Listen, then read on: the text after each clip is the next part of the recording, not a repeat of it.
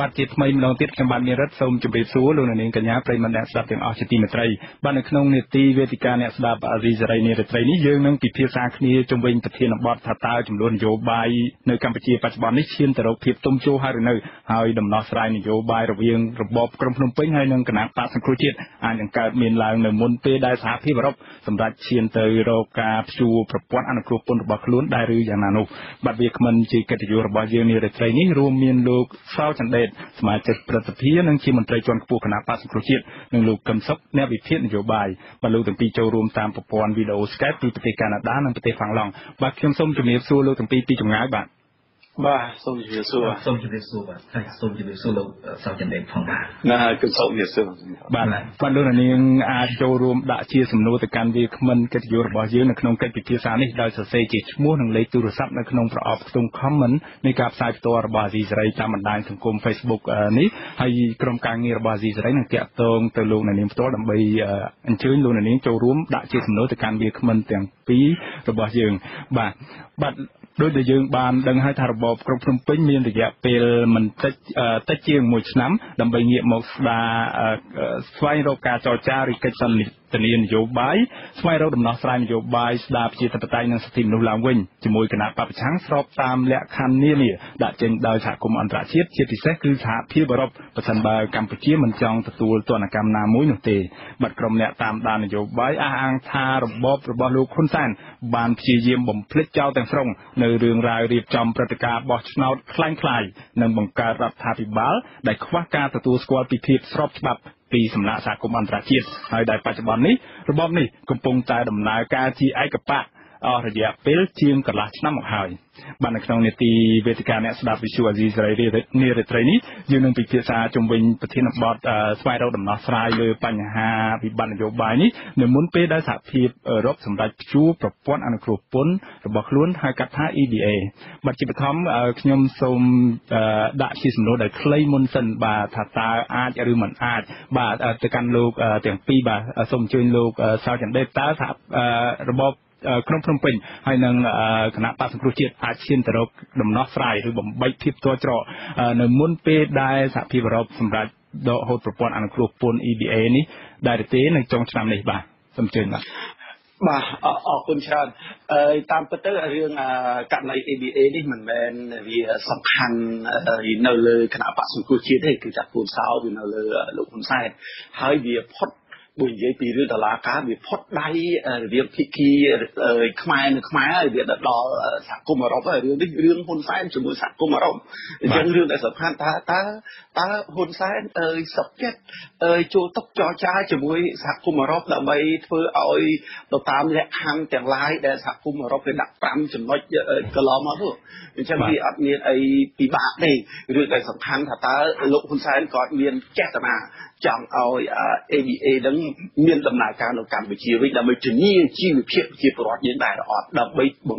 លើកបង្កើនសេដ្ឋកិច្ចជាតិយើងដែរឬអត់តែប៉ុណ្្នឹងអាដាមសោចន្ទិតខ្ញុំចង់បានចម្លើយដ៏ខ្លីតើអាចឬមិនអាចអឺវាអាចដោយសារថ្មីថ្មីហ៊ុនសែនកំពុងធ្វើគេថាការគេហៅថាប្រជាគ្រាការ ដើម្បីកើតបាទអរគុណអរគុណណាស់អំបាទយើងនឹងពិភាក្សាគ្នាអំពីថាតើអាចនឹងទៅរបៀបណាហើយមានមូលហេតុអ្វីបានជា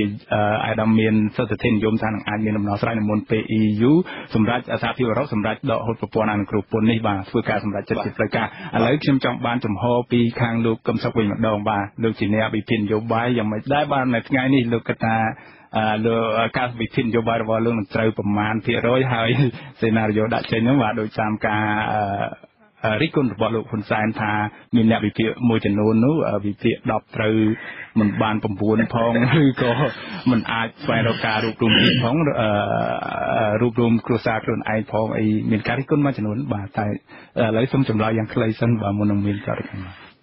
លោកចង់សួរថាតើអាចរក្សា EBA ឬអត់បាទបាទអាចឬមិនអាចចំហរបស់លោកតាមលោកវិភាគមើលឃើញបាទ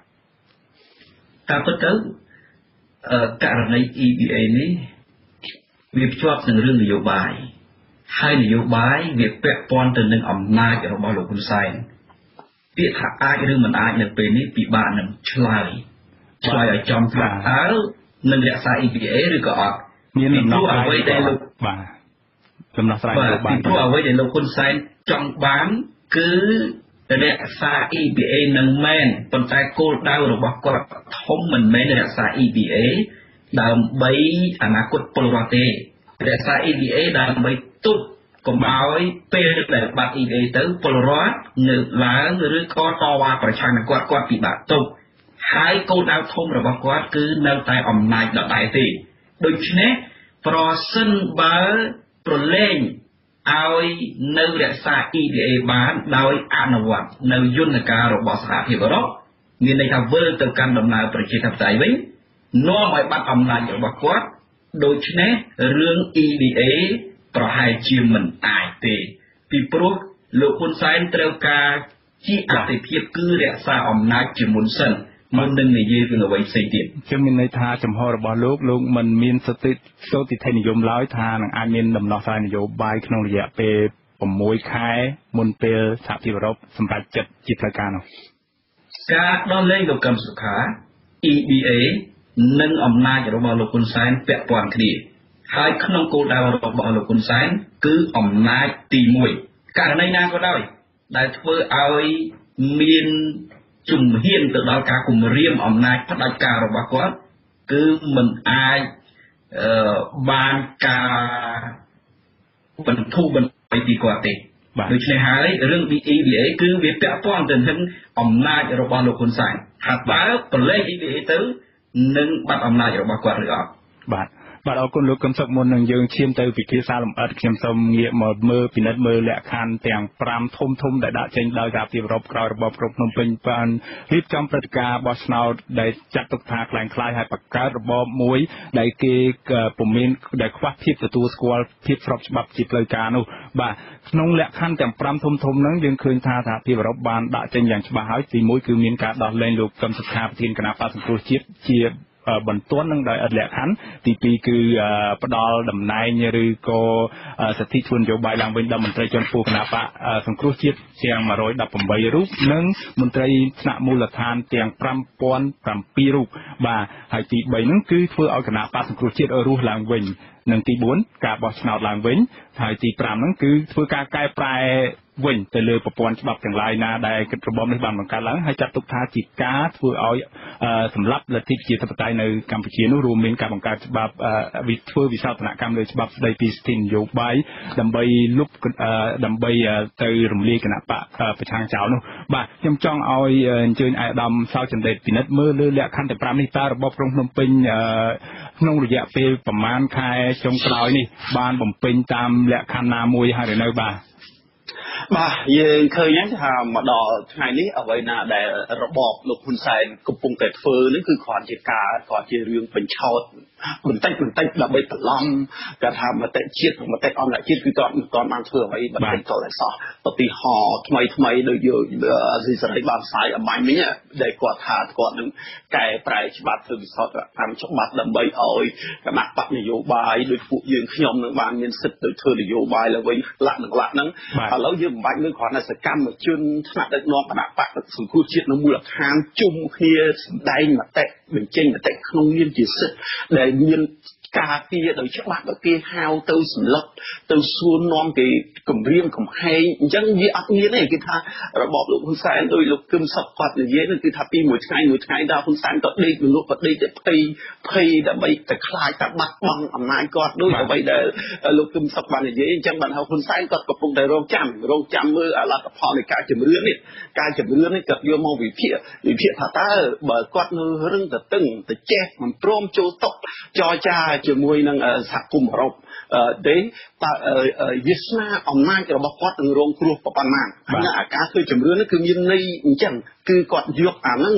ទិន្នន័យទាំងអស់ហ្នឹងយកទៅវិភាគថានៅពេលបាត់ ABA នឹងមានព្រឹត្តិការណ៍នឹងកើតឡើងអញ្ចឹងខ្ញុំនៅមានជំនឿថាហ៊ុនសែនគាត់នឹងភ័យថាបើសិនជាគាត់មិនមិនព្រមចូលតុចរចាគាត់នឹងត្រូវត្រូវរងគ្រោះធំប៉ុន្តែបើគាត់ចូលតុចរចាគាត់ក៏រងគ្រោះដែរប៉ុន្តែគាត់រងគ្រោះត្រឹមតែបាត់បង់អំណាចតែវាមិនដល់បាត់បង់ជីវិតប៉ុន្តែបើសិនជាគាត់នៅតែចចេះ តុកចៅចាស់គាត់នឹងមានបញ្ហាដូចគំរូមេដឹកនាំផ្ដាច់ការលើពិភពលោកដែលដូចកាដាហ្វីដូចអីនឹងសដាំហ៊ូសេហ្នឹងគាត់នឹងមានបញ្ហាអញ្ចឹងហើយព្រោះឥឡូវហ្នឹងគាត់កំពុងតែធ្វើជំរឿនហើយជំរឿនហ្នឹងដើម្បីឈានទៅរកការវិភាគថាថាគាត់ត្រូវចូលតុកចរចារបស់អឺរ៉ុបឬមួយមិនលែងអត់មាននិយាយរឿងចរចាជាមួយសង្គ្រោះជាតិទេពេលនេះចរចាអរគុណអាដាមសាច់ចន្ទិនមិនមិនអាដាមបានមានប្រសាសន៍ជារួមទៅអញ្ចឹងឃើញថាក្នុងចំណោមលក្ខខណ្ឌធំធំទាំង5ដាក់ចេញដោយសហភាពអឺរ៉ុបហ្នឹងគឺមិនទាន់មានបំពេញតាមលក្ខខណ្ឌណាមួយឡើយទោះបីជាសំបីតែការដោះលែងលោកកឹមសុខាដែលជាលក្ខខណ្ឌសំខាន់មួយហ្នឹងគឺបើទោះបីជាហួសរយៈពេល18ខែក៏ដោយតាដែលអនុញ្ញាតដោយច្បាប់ក្រមព្រំទាន់កម្ពុជាក៏ដោយក៏នៅតែមិនទាន់មានការដោះលែងបាទក្នុងនេះថ្មីថ្មីនេះម្សិលមិញនេះគឺលោកនាយករដ្ឋមន្ត្រីហ៊ុនសែននឹងលោកបានចេញមកប្រកាសជាសាធារណៈហើយថាអំពាវនាវជំរុញម្ដងទៀតឲ្យមន្ត្រី 118រូបបាទអាចថា115រូបរយៈពេលសប្តាហ៍ថ្ងៃនេះបាទឬក៏ទៅជាងហ្នឹងណាដោយសារមាន3រូបបានសុំសិទ្ធិស្នើសុំសិទ្ធិធ្វើនយោបាយហើយរួចហើយនោះបាទបាទនៅសំ114បាទអញ្ចឹង មានការដាក់ជាលក្ខខណ្ឌឬក៏អសានវិទ្យថាឲ្យមានការបញ្ញាបញ្ញារុះរាន់ឡើងទ្វារនៅបើកចំហនៅឡើយបើមិនចឹងទេឲ្យបាននៅមុនដំណាច់មុនចូលឆ្នាំខ្មែរឬនៅក្រោយចូលឆ្នាំខ្មែរតើមានហេតុផលអ្វីដែលលោកអាយអាដាមសានដែលមើលឃើញថាហេតុផលអ្វីនៅពីក្រោយហ្នឹងដែលជំរុញឲ្យលោកហ៊ុនសែនទៅដាក់ជាអសានវិទ្យនេះនៅឲ្យយកចូលឆ្នាំខ្មែរយកធ្វើជាជាជាជាចំណុចមួយចំណុចគោលនោះបាទអាចថារៀងរាល់ពេលចូលឆ្នាំហ្នឹងមានការដោះលែងអ្នកទស្សនយោបាយអ្នកទស្សអីផ្សេងផ្សេងទេឬក៏យ៉ាងម៉េចអាចមានភាពឈានទៅរកទម្លុះទម្លាននយោបាយបានទេនៅនៅមុននេះបាទអានេះជាយុទ្ធសាស្ត្របរាជ័យទី2របស់ហ៊ុនសែន ក្នុងការអូសទាញថ្នាក់ដឹកនាំគណៈបកសង្គ្រោះជាតិគឺថាយុទ្ធសាស្ត្រទី1ដែលក្រោយពីគាត់រំលាយគណៈបកសង្គ្រោះជាតិគាត់ចង់អូសទាញអឺរចនាសម្ព័ន្ធគណៈបកសង្គ្រោះជាតិនៅថ្នាក់មូលដ្ឋានដែល5007នាក់កន្លងមកគឺថាគាត់បរាជ័យហើយគាត់ប្រើយុទ្ធសាស្ត្រដូចដែលគាត់បានស្អែកពីម្សិលមិញហ្នឹងគឺគាត់គាត់លួងគាត់គម្រាមកំហែងគាត់សន្លត់គាត់រំភ័យគាត់ខឹងគាត់ស្អែក ទាំងនេះចងាងព្រោះគាត់ថាកាលណាគណៈបកសង្គ្រោះជាតិគាត់រំលាយតែឈ្មោះនៅលើដែលកដាស់ប៉ុន្តែរូបរាងកាយថ្នាក់ដឹកនាំគណៈបកសង្គ្រោះជាតិនៅដដែលអញ្ចឹងគាត់ធ្វើអត់បានជោគជ័យអត់មានដំណាម្នាក់មិនបានដល់ក្រោម10%ដែលចចូលជាមួយគណៈបកប្រជាជននៅឯមូលដ្ឋាននឹងគឺថាដោយសារពួកគាត់ទាំងអស់នឹងគាត់មានចពាក់ចពិនបញ្ហាផ្ទាល់ខ្លួនផងអញ្ចឹងហើយគឺថាគាត់បរាជ័យមិនអាចរំលាយរចនាសម្ព័ន្ធរបស់គណៈបកសង្គ្រោះជាតិបានឥឡូវជាតិបរាជ័យទី2 ទី2ដែលគាត់ខំប្រឹងកែច្បាប់នឹងថាឲ្យតម្រូវតម្រូវនឹងសហគមន៍អន្តរជាតិឲ្យពួកយើងខ្ញុំតែ114នាក់នេះដែលនៅសល់114នាក់នឹងឲ្យបានចូលរួមឲ្យបានច្រើនដើម្បីគាត់ទៅបង្អួតថាពួកយើងខ្ញុំនៅបានសម្រេចចិត្តទៅបង្កើតគណៈបកថ្មីទៅចូលរួមជាមួយគាត់ហើយអញ្ចឹងលែងគិតរឿងគណៈបកសង្គ្រោះជាតិលែងគិតរឿងអលក្ខខណ្ឌទាំង5ហ្នឹងទៅអញ្ចឹងហើយគាត់នឹងបរាជ័យទៀតហើយព្រោះគាត់បរាជ័យនេះក៏ប៉ុន្តែមួយរយៈខាងក្រោយនេះមានមនុស្ស3នាក់ហើយមកពីមន្ត្រីជាន់ខ្ពស់គណៈបក្សសង្គ្រោះជាតិគឺចុងក្រោយហ្នឹងគឺលោកបាទលោកដែលម្នាក់ដែលជាសមាជិកអឺ ក្រុមប្រឹក្សាពិបាលរបស់គណៈបកគណៈកម្មការនយោបាយរបស់គណៈបកសង្គ្រោះជាតិបានចោះចូលហើយទន្ទឹមនឹងខ្ញុំចង់សាកសួរអាដាមសង្កេតថាតើពលរដ្ឋមូលដ្ឋានដែលគាត់ព្យាយាមឆន្ទៈយ៉ាងមោះមុតនោះព្យាយាមប្រជុំតាមនៅលើឡានក្រុងឬក៏នៅតាមតំបន់ផ្សេងកន្លែងផ្សេងផ្សេងហ្នឹងហើយរងការបាទរងការគម្រាមកំហែងសពគ្រប់បែបយ៉ាងនឹងការពមៀនពីលោកនាយករដ្ឋមន្ត្រីហ៊ុនសែនសើមិញនេះផងនេះតើគួរតែធ្វើយ៉ាងម៉េចដែរដើម្បី កុំឲ្យមន្ត្រីគណៈបកសង្គ្រោះជាតិ118រូបសរុបចុះខ្ញុំនិយាយជារួមសរុបចុះថាតើកុំឲ្យពួកគេទៅសុំលោកហ៊ុនសែនធ្វើនយោបាយឡើងវិញគណៈដែលពួកគេមិនបានប្រព្រឹត្តអ្វីខុសតបន្តិចតរសោះនោះបាទតើឆន្ទៈមុខមុតរបស់ប្រជាពលរដ្ឋមូលដ្ឋានគួរធ្វើយ៉ាងម៉េចបាទសង្កេតយ៉ាងម៉េចហើយយកមន្ត្រីទាំងនោះមកទទួលខុសត្រូវយ៉ាងម៉េចបាទ បាទសំណួរល្អមែនតើហើយជាអ្វីណាដែលខ្ញុំទុំនិយាយក្នុងរង្វង់ថ្នាក់ដឹកនាំគណៈបក្សសង្គ្រោះជាតិត្រូវតែមើលជាគំបាទពីព្រោះក្នុងនាមយើងដែលជាថ្នាក់ដឹកនាំគណៈបក្សសង្គ្រោះជាតិនេះយើងក្នុងនាមយើងជាតំណាងឲ្យប្រជាពលរដ្ឋដែលប្រជាពលរដ្ឋបានប្រគល់សេចក្តីទុកចិត្តឲ្យយើងដែលជាថាថ្នាក់ដឹកនាំសង្គ្រោះជាតិដែលជាជំរឿសតែមួយគត់ ដែលជាជំរឿសចុងក្រោយក្នុងការទៅផ្លាស់ប្ដូររបបផ្ដាច់ការរបស់លោកហ៊ុនសែនហ្នឹងអញ្ចឹងហើយបាទថាបើកាលណាយើងធ្វើអ្វីខុសពីឆន្ទៈរបស់គាត់ព្រោះយើងបានជាតំណាងរាស្ត្រក្តីបានជាព្រឹទ្ធសភាក្តីគឺមិនមែនបានមកធ្លាក់ពីលើមេឃឬមួយបាក់តែងតាំងយើងទេគឺមហាជនពលរដ្ឋលោកបោះឲ្យយើងលោកសំដែងការគ្រប់គ្រងយើងអញ្ចឹងកាលណាយើងយកឆន្ទៈរបស់គាត់យកទៅដោះដូរឬមួយយកធ្វើទៅខុសនឹងឆន្ទៈគោលបំណងរបស់គាត់អញ្ចឹងគាត់មានសិទ្ធិជេរគាត់មានសិទ្ធិ ស្ដីបន្ទោគាត់មានសិទ្ធិថាឲ្យគាត់មានសិទ្ធិគ្រប់បែបយ៉ាងដើម្បីដកហូតនៅតំណែងគេឈ្មោះកិត្តិយសរបស់យើងវិញអញ្ចឹងហើយបានខ្ញុំថាអឺហ៊ុនសែនមិនអាច អូសទាញ118នាក់បានទេបានតែប្រមាណអ្នកដែលហៅថាអង្គការអង្គការវិជាហើទៅតាមខ្យល់ប៉ុន្តែអ្នកដែលមានកិត្តិយសមានការទទួលខុសត្រូវក្នុងនាមជាតំណាងប្រជាពលរដ្ឋគឺថាมันអាចទេហើយបើពីណាទៅគឺថាពេលនេះមិនដូចមុនទេព្រោះប្រជាពលរដ្ឋលោកឆ្លាតលោកយល់ម្ចាស់ស្នត់គាត់យល់ហើយតែទៅគាត់សំពងហ្នឹងអញ្ចឹងខ្ញុំជឿថាអ្នកនយោបាយខ្លាចណាស់អ្នកនយោបាយគេថាធ្វើស្រែនឹងទឹក ធ្វើសិទ្ធិនឹងបាយធ្វើនយោបាយនឹងមហាជន កាលណាមហាជនលេងគ្រប់គ្រងឲ្យគឺថាគាត់បារម្ភគាត់មានជឿថាទី1គឺថាទឹកចិត្តថ្នាក់ដឹកនាំគណៈបក្សសង្គ្រោះជាតិគឺថាយើងប្រសិនបើមានការទៅសរសេរលិខិតអីសុំសិទ្ធិនយោបាយពីលោកហ៊ុនសែនទៀតនឹងពលរដ្ឋមូលដ្ឋាននឹងផ្ដល់មេរៀនមួយដល់មន្ត្រីទាំងនោះហើយបាទ បាទបាទអានឹងជាសិទ្ធិរបស់គាត់មិនអាចទទួលគាត់ថាកុំអោយគាត់ជេរបានគាត់ត្រូវជេរពីព្រោះតំណាងបូជាជាជាជាសិលឹកថ្នោតរបស់គាត់គឺគាត់បានទៅគ្រប់គ្រងយើង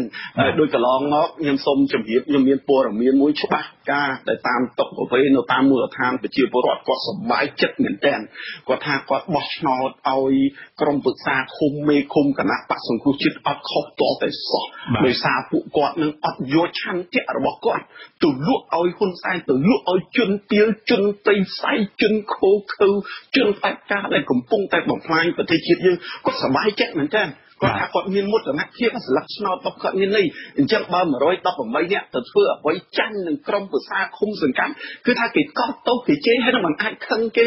អីអីបានទេព្រោះជារបស់គេគេឲ្យយើងយើងគ្រាន់តែមានជាខ្លួនជាតំណាងតែក៏ប៉ុន្តែអាអាតំណែងដែលយើងមកអង្គុយក្នុងនាមជាតំណាងរាជាព្រឹទ្ធសភាគឺមហាជនរបស់គាត់គាត់មកឲ្យអញ្ចឹងទៅយករបស់គាត់ទៅធ្វើខុសគោលដៅរបស់គាត់ខុសឆន្ទៈរបស់គាត់ គាត់ជឿហើយគាត់ថាឲ្យហើយអានឹងធម្មតាលួចរបស់គាត់ក្បត់គាត់បាទអរគុណអាដាមសៅចន្ទរិតបាទឥឡូវខ្ញុំសូមងាកសំណួរទៅកាន់លោកកឹមសុខវិញម្ដងចង់ឲ្យលោកវិភាគម្ដងនេះមើលថាត្រូវកម្រិតណាបាទតើមូលហេតុអ្វីនៅពីក្រោយរឿងដែលលោកហ៊ុនសែននឹងចេញមកដាក់ជាអសានវិទ្យបើទោះបីច្បាប់ដែលលោកកែខ្លួនឯងនឹងមិនបានកំណត់ពេលវេលាណាជាក់ច្បាស់ថាត្រូវតែមុនឬក៏ចូលឆ្នាំខ្មែរនាំគ្នាសុំធ្វើនយោបាយឡើងវិញនោះបាទសូមជឿណា លោកកំសោសុភាត្រូវច្រើនខ្ញុំតាមដានគាត់អរគុណលោកសូចឹងទេអឺខ្ញុំសាកល្បងវិភាគទៀតទៅចុះអញ្ចឹងបាទសេចក្តីថ្លែងគ្រាវក្រោតរបស់លោកហ៊ុនសែនថ្មីថ្មីហ្នឹងបើយើងមើលឲ្យចំបញ្ហា គឺជាសញ្ញានៃការសារភាពរបស់គាត់ថាអ្វីអ្វីដែលជាការវិវត្តមកនោះគឺជារឿងនយោបាយសុទ្ធសាធ វាមិនដែលអ្នកណាទៅធ្វើច្បាប់ហើយកំណត់ថាអឺអនុវត្តបានតែប៉ុណ្ណេះខែប៉ុណ្ណោះខែទេធ្វើហើយអនុម័តហើយឆ្លងកាត់រដ្ឋសភាហើយទៅដល់ប្រកោតណាឡាយហើយទៅច្បាប់នោះវាចូលជាព័ត៌មានបាទលោកគំទឹកសំទោកាត់លោកបន្តិចក្រែងលោកអាចមានការធ្វើវិសោធនកម្មច្បាប់នឹងម្ដងទៀតទៅជា3 4ដងទៅហើយដាក់ថាត្រូវសុំសិទ្ធិធ្វើនយោបាយមុនចូលឆ្នាំទៅបាទអាហ្នឹងហើយគេហៅថានយោបាយមានន័យថា បើគាត់ធ្វើវិសោធនកម្មច្បាប់ហើយកំណត់ពេលមានន័យថាបើទោះបីជាត្រូវទៅវិសោធនកម្មវិញគឺវិសោធនកម្មតាមចិត្តគាត់មិនមែនតាមតម្រូវការនៃការចំបារបស់ប្រជារាស្ត្រទេដូច្នេះវាជានយោបាយដដែលហើយការជំនាញចងាយរបស់គាត់ចុងក្រោយមានន័យថាជាវិធីទាល់ច្រកមកកាត់ទាល់ផ្លូវទាល់ក្រឡារោគរោគអ្វីនឹងដោះមិនឃើញណាបើយើងរំលឹកអំពីបញ្ហាចាប់លោកកឹមសុខា ចោតជាប់ទៅនឹងសហរដ្ឋអាមេរិកដូច្នេះរឿងនេះពិបាកដល់ណាមិនដឹងដល់យ៉ាងម៉េចទេបើកាត់លោកកឹមសុខាឲ្យជាប់គុកពីទូក្បត់ជាតិតើហ៊ានហៅតំណាងរដ្ឋាភិបាលអាមេរិកមកសួរទេហើយបើមិនហ៊ានហៅតំណាងរដ្ឋាភិបាលអាមេរិកមកសួរផងអញ្ចឹងចោទលោកកឹមសុខាថាក្បត់ជាតិដោយមានទំនាក់ទំនងជាមួយអាមេរិកយ៉ាងម៉េចបាទដូច្នេះវាទៅលើកោថាវិជាការចោទប្រកាន់បែបនយោបាយបន្ទាប់មកគាត់ទាល់គាត់ទាល់ហើយគាត់ រំលាយគណៈបកសង្គ្រោះជាតិចោលបាទរំលាយគណៈបកសង្គ្រោះជាតិដល់ដល់ឯកគ្មានផុសតែបន្ទាប់ពីនឹងមកក៏ដោះស្រាយបញ្ហាដោយបង្កើតក្រុមគេហៅថាឧត្តមក្រុមប្រឹក្សាពីគ្រោះនឹងផ្ដល់យោបល់ដើម្បីទៅលុបលាងកំហុសខ្លះណាបាទដើម្បីយកទៅផ្សព្វផ្សាយនយោបាយខ្លះប៉ុន្តែ ឧត្តមក្រុមប្រឹក្សាហ្នឹងឃើញនៃបកនយោបាយខ្លះចេញមកតាម Facebook ជេរតែប្រជាពលរដ្ឋចង្អៀងចង្អាចុះឡើងមិនដឹងថាមានប្រសិទ្ធភាពការងារអីផងហ្នឹងហើយចុងក្រោយនេះទៀតយើងមើលកែច្បាប់ហ្នឹងរបៀបកែច្បាប់មកដល់កែច្បាប់ការកែច្បាប់ហ្នឹងកែដំបូងបានពីរនាក់ហ្នឹងសុំសិទ្ធិធ្វើនយោបាយរួចហើយនៅពេលដែលគេមិនទៅសុំសិទ្ធិធ្វើនយោបាយឲ្យក្រសួងមហាផ្ទៃហ្នឹងទៅវទៅវម្ដងបានម្នាក់ឥឡូវហ្នឹងលោកហ៊ុនសែនចែកមកច្រកេងចងាងហ្នឹងគឺមិនមែនជារបៀបគេហៅថាបង្ហាញភាពខ្លាំងទេ គឺជារបៀបអង្វរមួយបែបទៀតតែបើអង្វរម្ដងហ្នឹងមិនដឹងថាបានប្រមាណអ្នកទៀតវាគ្រាន់តែថាជារបៀបអង្វរមួយដែលគាត់ទាល់ច្រកមែនទេមិនដឹងដោះស្រាយតាមណាពីព្រោះរំលាយសង្គ្រោះជាតិក៏សង្គ្រោះជាតិនៅខ្លាំងអ្វីដែលជាកលឹះរបស់លោកហ៊ុនសែននោះគាត់មិនមែនគិតត្រឹមតែថាមិនឲ្យសង្គ្រោះជាតិរស់ឡើងវិញទេគាត់គិតរហូតដល់ថា ប្រសិនបើលេងលោកកឹមសុខាបាទអឺមន្ត្រីសកម្មជនគណៈបកសង្គ្រោះជាតិ ចូលមករួមផ្ដុំក្នុងគណៈបកនយោបាយថ្មីមួយក៏ដោយប៉ុន្តែវានៅតែកម្លាំងសង្គ្រោះជាតិទៅដដែលដូច្នេះវាខ្លាំងដដែលបើខ្លាំងដដែលធ្វើម៉េចនឹងអាចគាត់ឈ្នះបានបើមានការបោះឆ្នោតត្រឹមត្រូវគាត់គិតរហូតទៅដល់ចំណុចហ្នឹងដូច្នេះរឿងដែលយើងត្រូវពិចារណាថាអ្វីដែលនៅពីក្រោយអឺការអឺពេញចំណាក់នៃសេចក្តីថ្លែងចុងក្រោយរបស់គាត់ដូចជាការវិធានទី4ហ្នឹង នៅពីក្រោយបញ្ហាហ្នឹងគឺភាពទាស់ច្រកដែលមិនអាចដោះស្រាយ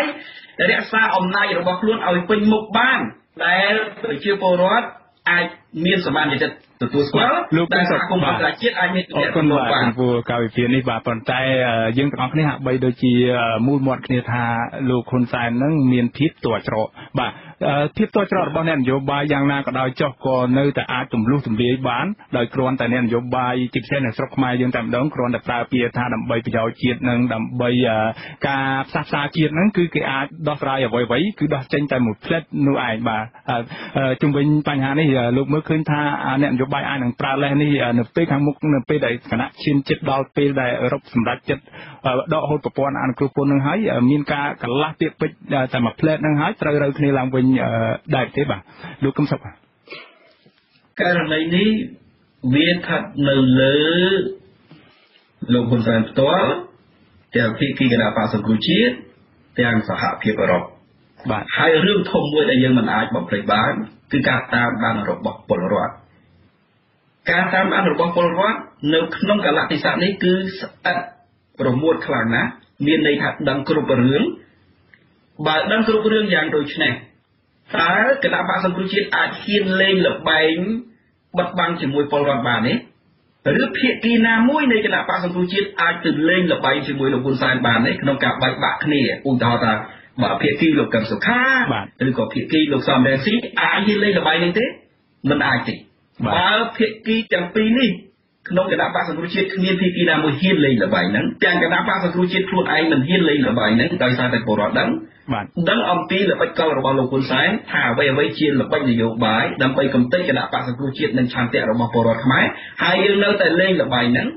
ដូច្នេះមានន័យថាវាជារឿងដែលពលរដ្ឋនឹងបាត់ការគ្រប់គ្រងធុញទ្រាន់អរគុណលោកមិនសុខបាទនៅពេលដែលពលរដ្ឋធុញទ្រាន់បែបហ្នឹង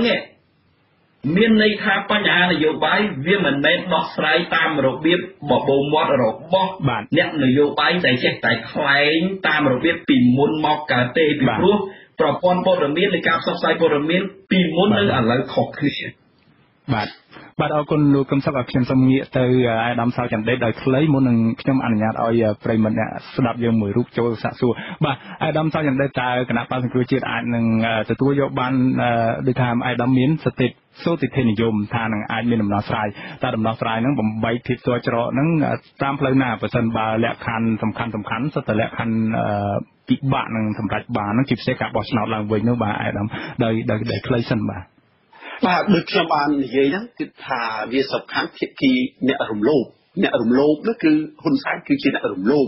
អ្នករំលោភអ្នកបំផ្លាញលទ្ធិប្រជាធិបតេយ្យហ្នឹងឯងអញ្ចឹងបានលោកហ៊ុនសែនក៏ស្វាក់ស្វែងចុងក្រោយដោយលោកកឹមសុខបានលើកឡើងប៉ុន្តែខ្ញុំចាប់អារម្មណ៍មួយគឺថាគាត់កំពុងតែធ្វើការជំរឿនប្រជាពលរដ្ឋដែលមានសំណួរពាក់ព័ន្ធទៅនឹងការចំណាយរបស់ប្រជាពលរដ្ឋដែលសំណួរទាំងអស់នេះពាក់ព័ន្ធនឹងការចំណាយអស់គឺសម្ភារៈប្រើប្រាស់របស់ប្រជាពលរដ្ឋនឹងឯងដែលលោកហ៊ុនសែនក៏អួតថាផ្ដាច់អានឹងគាត់មិនស្លាប់ទេដូចកាលពីឆ្នាំ79 80មិនស្លាប់ប៉ុន្តែកាលពីឆ្នាំនោះប្រជាពលរដ្ឋត្រូវការតែបាយហូបទេឥឡូវប្រជាពលរដ្ឋ វាត្រូវការបំរើនូវសេវាទាំងឡាយនៅក្នុងផ្ទះរបស់គាត់អញ្ចឹងក៏ស្ទង់អាហ្នឹងកាលណាបាច់ DDA ពួកគាត់ទាំងអស់នោះប្រជាពលរដ្ឋនោះគាត់ដាច់ចោលហើយគាត់មិនព្រមដាច់ចោលទេគាត់ត្រូវទៅរកកន្លែងរស់កន្លែងរស់គឺឃ្លាំងលុយឃ្លាំងអង្គឃ្លាំងសម្ភារៈហើយឃ្លាំងអង្គឃ្លាំងសម្ភារៈមានតែឃ្លាំងនៅផ្ទះសោតលេតមាននៅផ្ទះសំនឹងស៊ីគឹមទៅខែគឺនៅផ្ទះក្រុមលោកហ៊ុនសែនហ្នឹងហើយអញ្ចឹងហើយគាត់ត្រូវតែតែងាកទៅរកសហគមន៍អឺរ៉ុបហើយសហគមន៍អឺរ៉ុបប្រៀបដូចដូចជាតឡាការអញ្ចឹងលោកដូចជាតឡាការអញ្ចឹងរីឯសង្គ្រោះជាតិនឹងហ៊ុនសែននេះគេហៅថាជាភិក្ខីជាភិក្ខីមួយភិក្ខីរំលោភមួយទៀតជាភាគី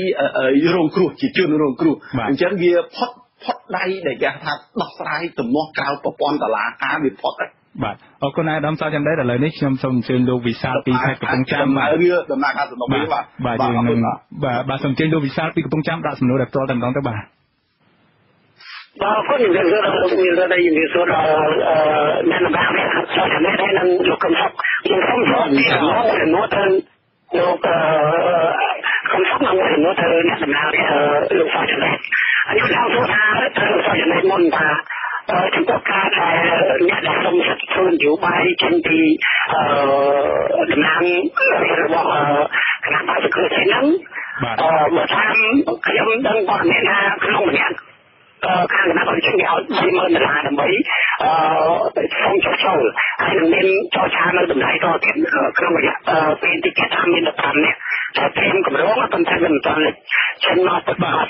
លោកលោកវិសាបាទខ្ញុំខ្ញុំខ្ញុំកាត់លោកវិសាលោកវិសាបាទលោកវិសាគាត់នៅកន្លែងចិត្តបុរីហ្នឹងគឺវាតម្លៃមក 100លានដុល្លារដែលខ្ញុំគាត់ខ្លាចគាត់ក៏ចុះចូលអញ្ចឹងខ្ញុំចង់សួរទៅលោកអាយដងតចំណេះថានិយាយថាបើសិនជាការកម្រិតលំហែរបស់គណៈបព្វជិជនដែលដឹកនាំដោយលោកយុរដ្ឋមន្ត្រីហ៊ុនសែនហ្នឹងតើថ្ងៃក្រោយអាចចេញយកនៃដំណើរគណៈបព្វប្រចាំហ្នឹងទៅសុំសិទ្ធិនយោបាយដោយជាការកម្រិតលំហែរបស់គាត់ហ្នឹងអាចបានសម្រេចនៅជោគវាសនាមួយដើម្បីរត់សំកម្ម EBA ដែរទេបាទនេះទី1ទី2សួរថាគុំសតាយ៉ាងចំពោះគុំសតានេះទៀតថាបើខ្ញុំយកឯកឧត្តមទីមិនចូលដល់ក្នុងប្រទេសកម្ពុជាដោយសារតែយុទ្ធសាស្ត្រនយោបាយគាត់ហើយមានអ្នកវាតម្លៃគាត់ថាគាត់ព្រាយមិនប្រកបអញ្ចឹងសួរថាតើអាចថ្ងៃក្រោយមានការប្រស្នាមទេដូចយ៉ាងមានខាងអូតាកថាតែជំនុំជាគាត់ថាវាយបហាទៅលើឯកឧត្តមទីតើវាអាចធ្វើឲ្យ បាទអាចរបស់ខ្លួននឹងការចាញ់របស់ខ្លួនឯងនឹងមួយលោកគុណលោកវិសាលបាទលោកវិសាលបាទបាទខ្ញុំសំណួរខ្លីបាទអរគុណលោកវិសាលបាទខ្ញុំសូមឲ្យខាងបច្ចេកទេសជួយបិទសំឡេងលោកវិសាលបន្តិចពិបាកស្ដាប់ណាស់បាទលោកវិសាលប៉ុន្តែខ្ញុំតែលោកស្ដាប់ខ្ញុំលើទេខ្ញុំចង់សួរអញ្ចឹងទេមុននឹងលោកបានចោទសួរថាមានការត្រៀមថវិកាសូកប៉ាន់ពីគណៈបព្វជិជន30000ដុល្លារហ្នឹងលោកបានទទួលព័ត៌មានពីភពណាលោកមានផតតាំងទេបាទលោកវិសាលបើអាចឆ្លើយបានបាទសូមបើកសំឡេងលោកវិសាលបន្តិចបាទបាទខ្ញុំនេះគឺ30000ដុល្លារហើយអ្នកបន្តបន្តគេនឹងចូលចាតទៅទៀតជាងពី30000ដុល្លារ100000ដុល្លារនឹងចេញពីខាងគណៈកម្មការអចិន្ត្រៃយ៍របស់សេដ្ឋកិច្ចអញ្ចឹងមកនេះខ្ញុំកំពុងថាតើវាមិនដឹងថាបានទៅជាសំខាន់នៅអ្នកដំណើររបស់សេដ្ឋកិច្ចបាទបាទបាទអរគុណបាទបាទដែលយើងពេលវេលាខ្លីសូមអញ្ជើញអាយដាមសោចន្ទិតបាទបកស្រាយសំណួរទី1លោកវិសាលបាទ បាទបងវិសាលអរគុណច្រើនហើយនេះអ្វីណាដែលគាត់ក៏ធ្លាប់ធ្វើចំពោះថ្នាក់ដឹកនាំគណៈបកសង្គ្រោះជាតិនៅថ្នាក់មូលដ្ឋានអញ្ចឹងដែរ គាត់ធ្លាប់ទិញគាត់ធ្លាប់សន្លត់គាត់ធ្លាប់អីដូចគ្នាគឺថាបានតិចណាបានតិចមែនតើហើយมันអាចរហូតដល់រំលាយគេថាធ្វើឲ្យប៉ះពាល់ទឹកចិត្តអ្នកគ្រប់គ្រងបានគឺថាអញ្ចឹងហើយគឺគាត់បរាជ័យការគាត់ធ្វើជាមួយអ្នកមូលដ្ឋានឥឡូវគាត់មកធ្វើនៅជាមួយថ្នាក់ដឹកនាំ118នាក់និយាយសរុបនិយាយចាំ118នាក់ថាដែលគាត់សន្លត់ផងគាត់គម្រាមផងគាត់នឹងឲ្យលុយអីទៀត ហើយមានអីទៀតគាត់លោកវិសាលសួរថាតើអាចទាញបានមនុស្សរហូតរហូតដល់ធ្វើឲ្យសហគមន៍អឺរ៉ុបគេជឿជាក់ហើយគេទុក ABA បាននេះថាមិនបាននេះមិនបានដាច់ខាតពីព្រោះខ្ញុំស្គាល់ថ្នាក់ដឹកនាំ ទាំងអស់ទាំង118នាក់របស់គណៈបកសង្គ្រោះជាតិគឺច្បាស់ថាគឺយើងភាកច្រើនគឺសពតែមន្ត្រីស្អាតស្អំក្លាហានហើយមានសមត្ថភាពអរគុណអាយដាមបានបានទេបាទងាកទៅលោកកឹមសុខវិញម្ដងសំណួរទី2របស់លោកវិសាជំវិញករណីវិលត្រឡប់លោកសំស៊ីទៅស្រុកខ្មែរវិញមានការប្រែប្រួលហ្នឹងក៏ប៉ុន្តែតែមិញហ្នឹងអាយដាមសំស៊ីបានបញ្ជាក់ច្បាស់ហើយចំហគឺនៅតែដដែលគឺ2019ហ្នឹងអាយដាមនឹងទៅត្រឡប់ទៅស្រុកខ្មែរវិញក៏ប៉ុន្តែសំណួរលោកវិសាលនេះធ្វើស្បិតតែក្រៅប្រធានបទបន្តិចសូមលោកកឹមសុខបញ្ជាក់បន្តិចមើលអាចមានការប្រឆាទេនៅពេលដែលអាយដាមសំស៊ីប្រែតែប្រែប្រួលចិត្តមិនត្រឡប់ទៅស្រុកខ្មែរអីអញ្ចឹងបាទតែខ្លីទេបាទខ្ញុំផ្ដល់យោបល់ថាសាររបស់អ្នកនយោបាយក្នុងស្ថានភាពលំបាក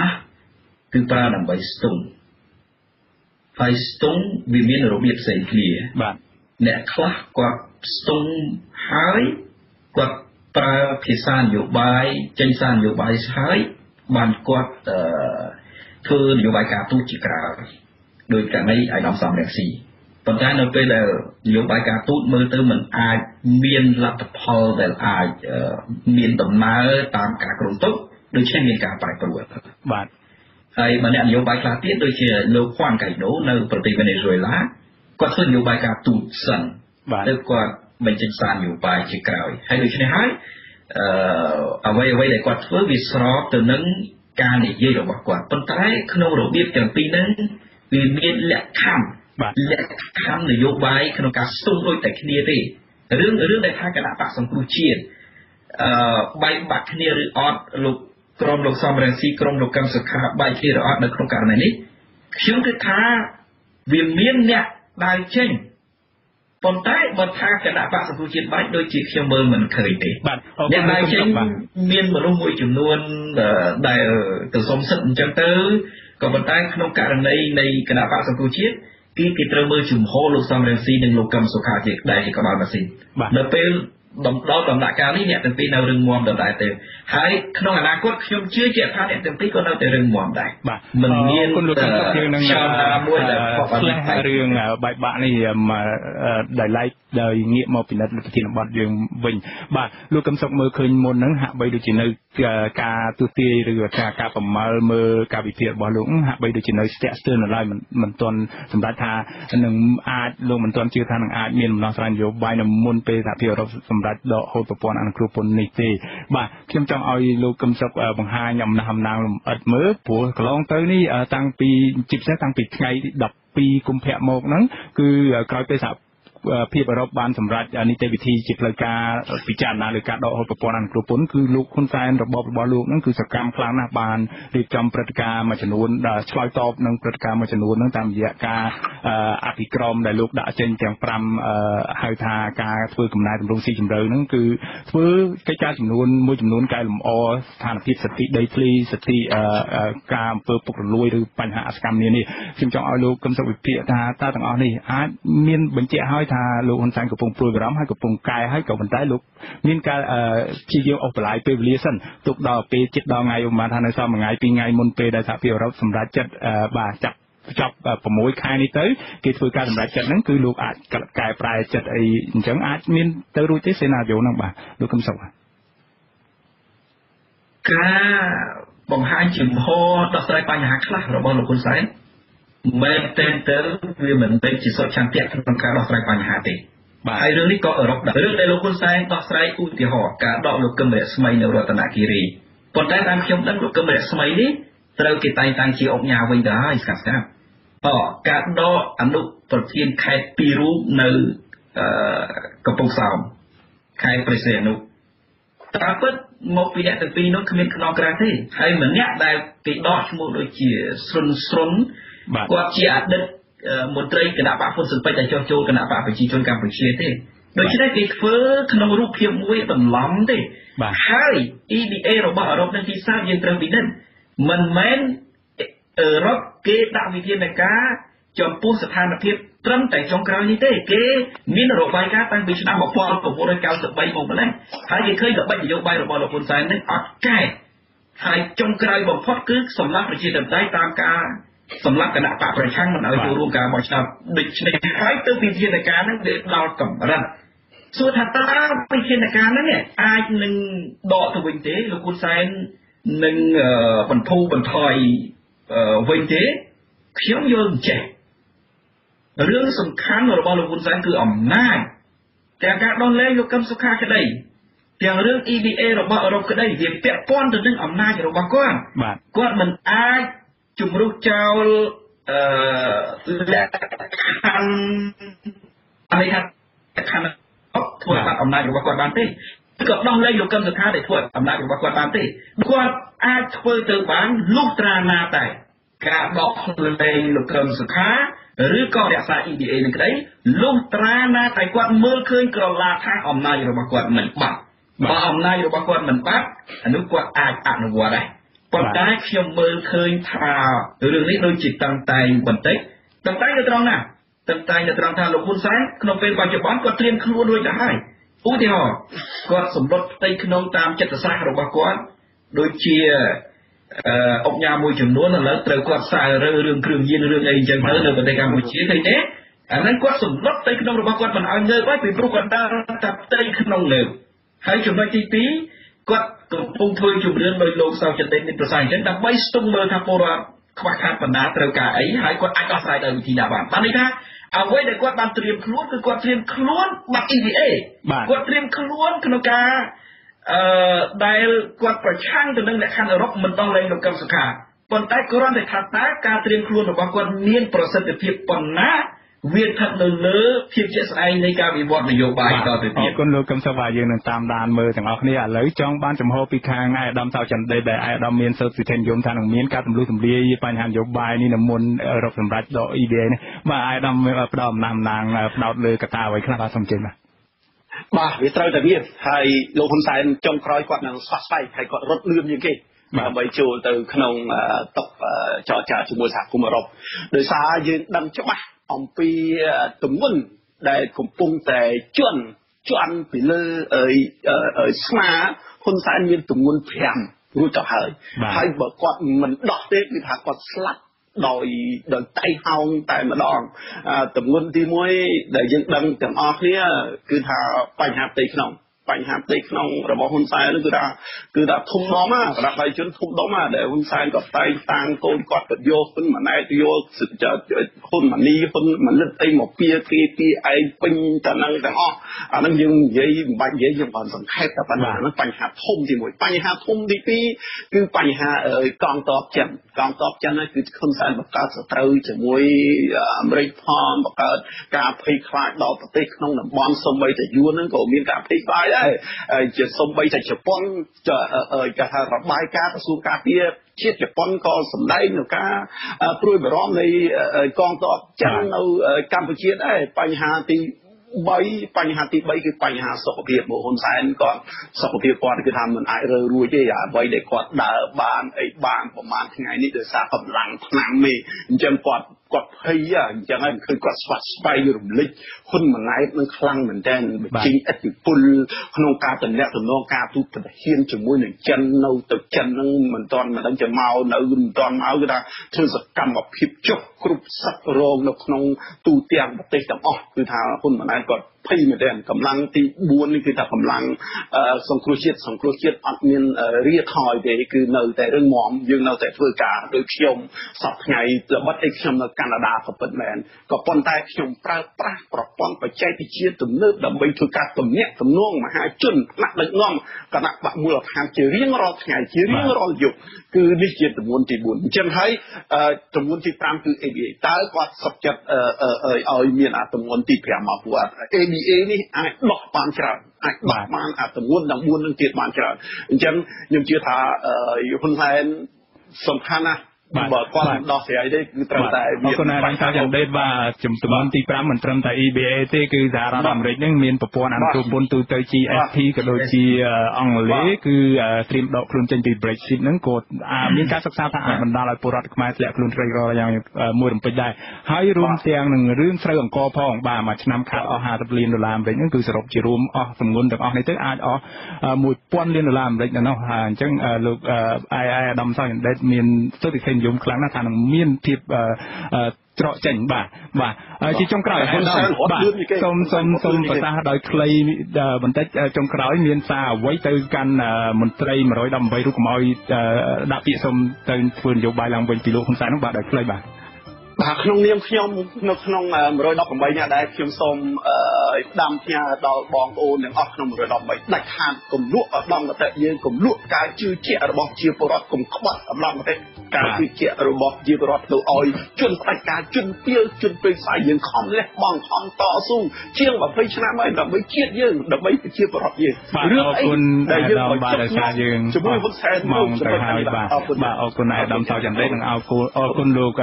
កឹមសុខបាទដែលបានចូលរួមបាទដោយសារយើងអស់ពេលទៅហើយខ្ញុំសូមជម្រាបលាអាយដាមលោកកឹមសុខពីចម្ងាយបាទសូមអរគុណអរគុណច្រើនកឹមសុខជម្រាបលាកឹមសុខបាទបាទលោកនាងកញ្ញាប្រិមមអ្នកស្ដាប់ជាទីមេត្រីការផ្សាយរយៈពេល1ម៉ោងនៃវិទ្យុអាស៊ីសេរីជាភាសាខ្មែរនៅពេលនេះចប់តែប៉ុណ្ណេះយើងខ្ញុំសូមជូនពរដល់លោកនាងព្រមទាំងក្រុមគ្រួសារទាំងអស់ឲ្យជួបប្រកបតែនឹងសេចក្តីសុខចម្រើនរុងរឿងកុំបីឃ្លានឃ្លាតឡើយខ្ញុំបាទមានរិទ្ធព្រមទាំងក្រុមការងារទាំងអស់នៃវិទ្យុអាស៊ីសេរីសូមអរគុណនិងសូមជម្រាបលា